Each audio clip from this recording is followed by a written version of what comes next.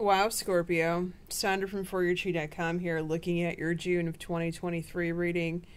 Thanks for being here with me. Um, we're doing the first six houses as usual with the tarot and oracle cards. The remainder will be contained in the link, in the link below. Tier 2 is what you want. Uh, we definitely have some things to discuss this month with you, Scorpio. Now,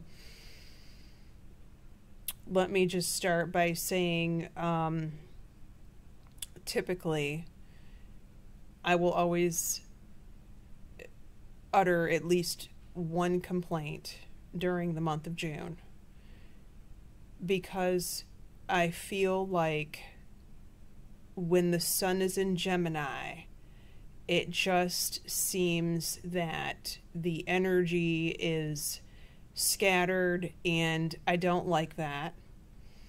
I like the more groundedness of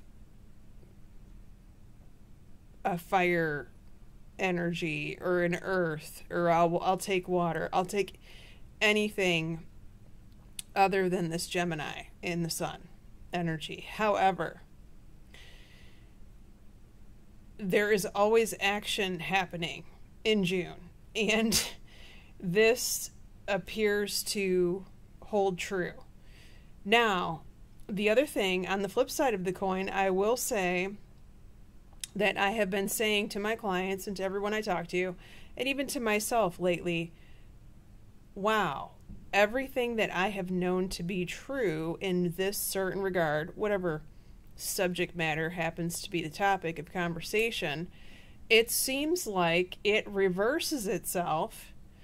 And now we're experiencing the exact polar opposite of what we've always experienced. So, when people say to me, and I know I can say this to you, Scorpio, because you're going to get it. When people utter a sentence or a belief to me, or on social media or whatever, if I happen to see it, that a certain subject has always been this way. I have to correct them and say, you have to understand we are not living in that old world anymore. The statement you've just made is no longer true or relevant for the current time, and it's no longer true or relevant for the near future who knows if it's going to be true or relevant in the long term distant future? We can't see that right now because we are too busy watching the old world crumble and thinking about how we're going to build this new world. Period. So, they need to stop uttering those old, out, worn out beliefs that are no longer true. And they don't need media to tell them that it's no longer true. They can just simply look outside and see for it for themselves and see it happening.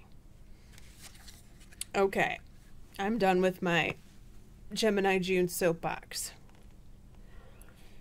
First house obstacles and challenges. Well, here we go with the we're in Gemini right now. So you make plans, and this energy is laughing at you. So it's a good idea, at least for the first week of June, to have a plan B and a plan C just in the event that you need to pull one out of your Scorpio hat. Scorpio Magician hat. We're going to get to the magician in just a moment. This is what I'm talking about, action packed. This reading is a trip. All right.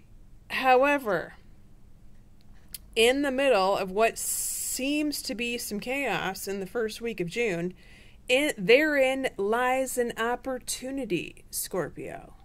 So just remember that. There's an opportunity to bridge this gap here that you see. So what this tells me is there is a silver lining in some cloud, and it is up to the Scorpio to dig it out of the big muddy hole. and find that beautiful golden needle in the haystack that only the Scorpio can find. Now, let's go to your second house. We have emotional loss of your money, your stuff. Now, this simply means that there is a little something that's missing. You want to work to try to gain it back. However, um, they're saying that it's just there's some sort of divine timing aspect here. So while you're thinking about this, it's not really time to act on it yet, Scorpio. At least if you want to act on it, at least don't put forth, you know, 200% of your efforts because you're going to need to conserve your energy for when it is time, okay? Your third house, your brother or sister, well, they're bummed out. I mean, I'm a little I'm a little on the edge when I see this card myself because I have a, sister who is um, expecting a child. So I'm just like, ugh. I hope this is not talking about her, but you never know what's in the divine plan. So you could have a crying sister or brother that calls you up um, and tells you their sob story. They definitely are sad. Now, they're saying there's a peaceful resolution, so for many of you, this could have been a fight, an argument, or a breakup. Um, and maybe they think it's over, but this person is not 100% done with them, so they're coming back later, but you they have to resolve the issue first. So if your brother or sister did something wrong, they need to apologize. Now, if they don't apologize, right, then it very well could be over. But the very fact that they're saying peaceful resolution means the parties need to come back together to discuss what happened. Whether or not people change their behavior, you can't control that. I can't control that. Only the two people can right? Now, here's where it gets really interesting for the Scorpio passion ignited at home where you live. What is going on here? You didn't pull it in your. Well, let's not go there. There's a reason why it's at home, right? Now, maybe you just love where you live. Maybe you're in love with where you live, or maybe there's just something about your house that you like. I'm with you. But this card and these, both the tarot and the oracle, are speaking to something more, a little bit deeper than that. Look at this romance.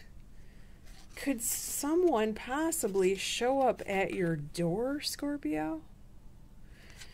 and uh, you know want to get really you know in the dirty with you i can't rule it out. I can't rule it out with these cards in the fourth house.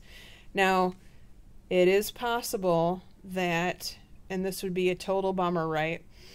If this wasn't talking about you and your house or the people that you live with or someone showing up at your door that you find attractive in a ultra hot way um, that you can't turn away it is possible that this could happen to your father or your father figure instead of you.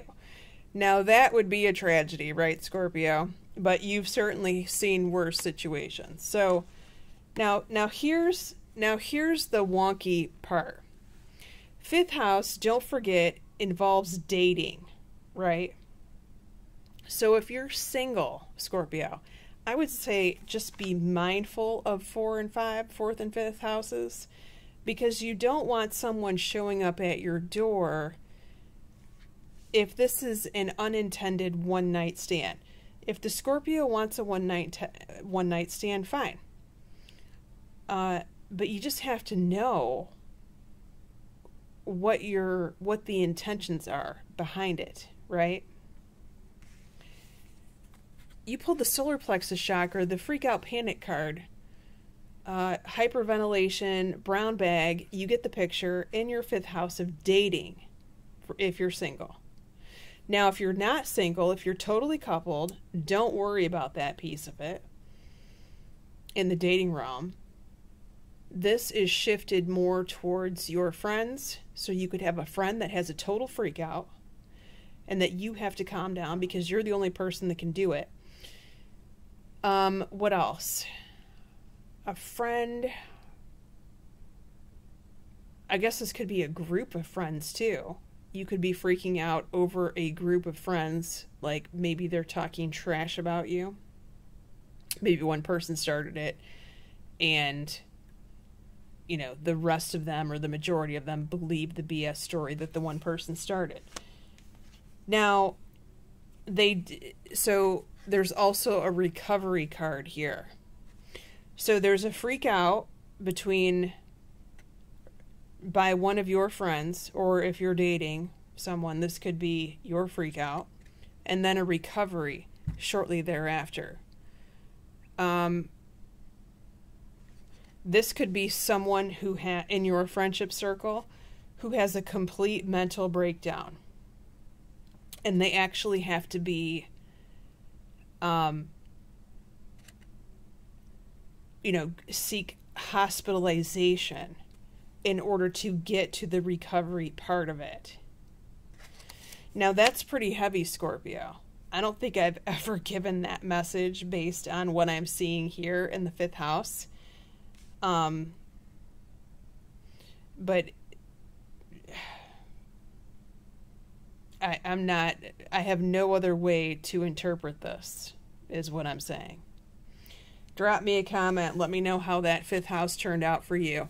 Your sixth house, mental conflict, confusion regarding work and or health uh, someone or some situation is throwing you mixed signals. This could be your boss. This could be a coworker where they're saying one thing and they're doing another.